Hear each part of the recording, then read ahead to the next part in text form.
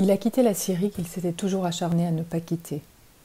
La veille du 11 octobre 2013, Yassine al-Hajj Saleh a mis son ordinateur dans son sac à dos, deux petits vestiges aux origines imprécises trouvés au village par son frère Firas, une branche de dattier du jardin de la maison de Raqqa.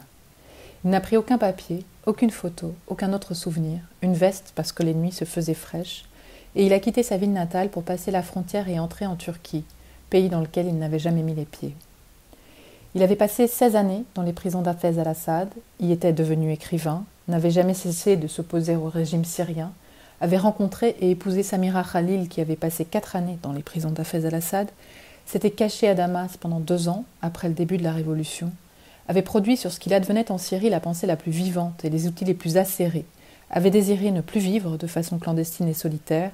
désiré se rapprocher de ceux qui inventaient la série nouvelle, s'était installé à Douma au printemps 2013, ville tout juste reprise par l'opposition armée au régime syrien, où tout semblait à faire. Samira l'avait rejoint.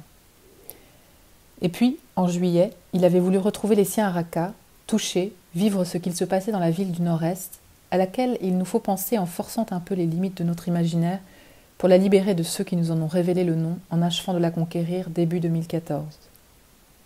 La route était dangereuse et ils avaient décidé, Samira et lui, qu'ils partiraient seuls et qu'elle leur joindrait dès que la situation s'arrangerait parce que c'était un temps où l'on pensait encore, les derniers mois peut-être où l'on pouvait penser ainsi, que les choses allaient s'arranger. C'est la seule erreur d'analyse qu'il ait commise quand il avait vu venir tous les dangers, toutes les menaces.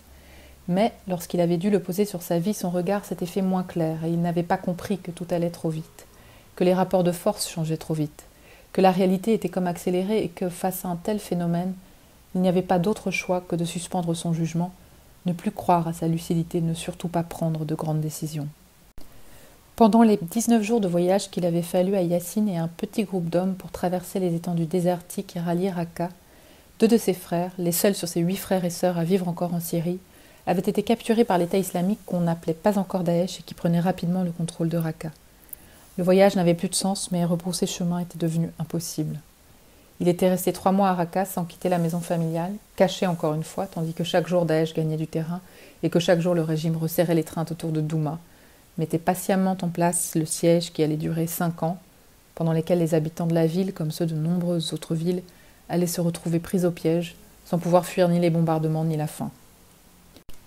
Daesh avait relâché son frère Ahmed, mais Firas reste absent jusqu'à ce jour, disparu sans avoir laissé de traces. Autour de Yassine à Raqqa, Disparitions, assassinats et départs se multipliaient. Le vide se propageait, saisissant. Tous lui conseillaient de partir, Samira aussi, avec laquelle il craignait de ne bientôt plus pouvoir communiquer parce que tout venait à manquer à Douma, l'essence aussi, qui permettait de faire fonctionner les générateurs et d'avoir accès à Internet. Il avait d'abord refusé de se mettre en route tant que Firas ne serait pas libéré, et quand il le dit, il a un sourire triste, tape doucement sur la table avec son poing. Et puis il était devenu impossible de ne pas partir. La veille du départ, il a trouvé et choisi d'emporter cette branche de dattier parce qu'elle portait huit fruits, autant que de frères et sœurs, sans compter Firas. Depuis longtemps, il compte tout, en permanence, avide de trouver des correspondances et du sens dans les chiffres, les années, les dates qu'il n'oublie jamais.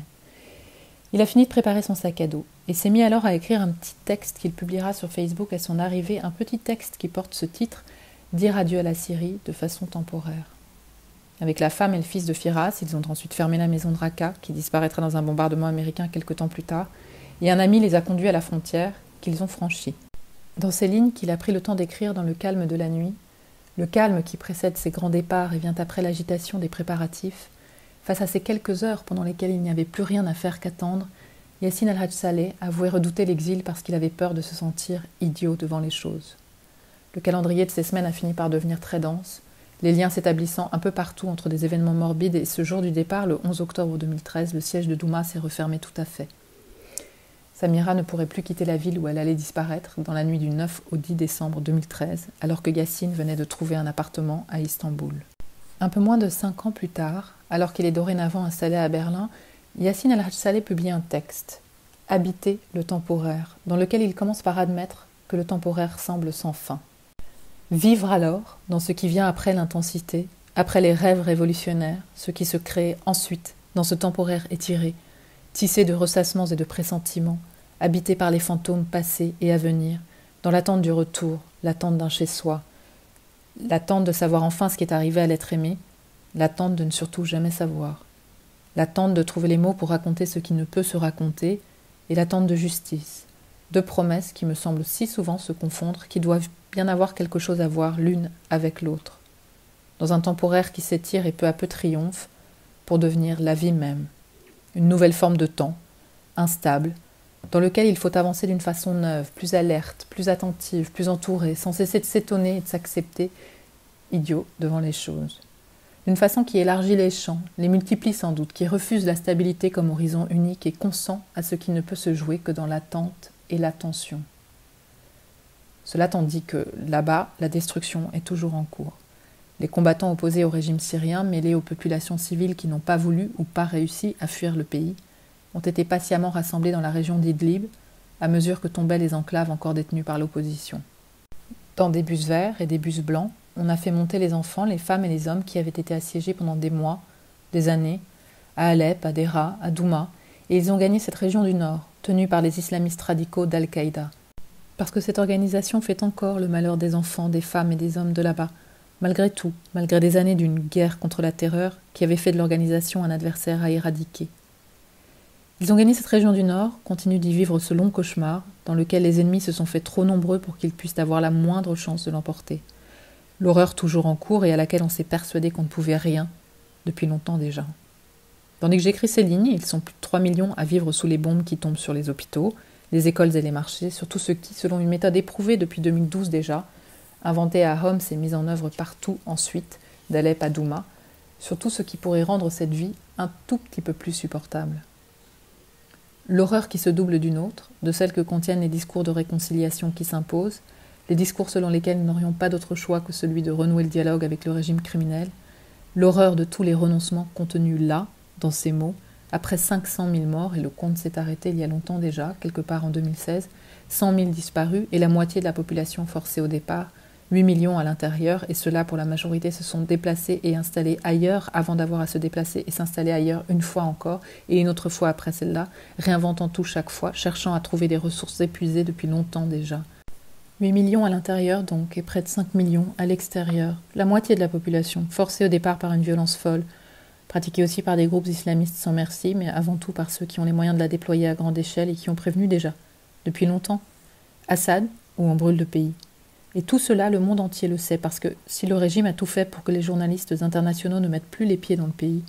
des milliers et des milliers de Syriens se sont faits activistes des médias ou journalistes citoyens, offrant au monde images et récits sur l'horreur en cours.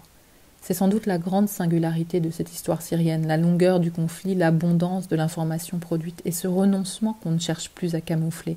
l'impunité que l'on accepte en renonçant à tout, la négation des crimes qui renouvellent à l'infini tous les crimes. L'horreur toujours en cours, mais comme étouffée, ignorée, parce qu'elle advient dans une situation rendue tellement sombre, à dessein, tellement sombre qu'on n'a plus d'autre choix que de se détourner, de se laisser anesthésier, parce qu'on doit bien pressentir peut-être qu'il faut apprendre à se laisser anesthésier quand on pense à tout ce qui vient, parce qu'on ne peut se raccrocher à rien, à part peut-être si l'on se concentre pour parvenir à retrouver dans les ruines la force d'inspiration de la Révolution, la joie de ceux qui sortaient danser dans la rue et crier, avaient alors l'impression d'entendre leur voix pour la première fois, se découvraient les uns les autres, incrédules, criant ensemble pour la première fois, vivant la même chose, partageant la même chose sans équivoque possible, le même sentiment exactement, la même puissance exactement, la même idée que tout était possible désormais et que, cette fois, ce tout est possible avait changé de camp, ne recouvrait plus toute la cruauté mais tout l'espoir, toute la beauté. Et sans doute avait-il fallu qu'il croie au tout est possible de la cruauté pour pouvoir croire à l'autre, auquel il n'est pas donné de croire souvent, auquel il semble devenu si difficile de croire. Maintenant l'impression domine qu'on peine à comprendre que ça n'est plus possible en fait de comprendre et de donner du sens. Il y a la destruction en cours, les ruines encore bien vivantes, les ruines passées et encore à venir, mais il y a aussi le début et sa puissance. C'est là aussi que tout commence.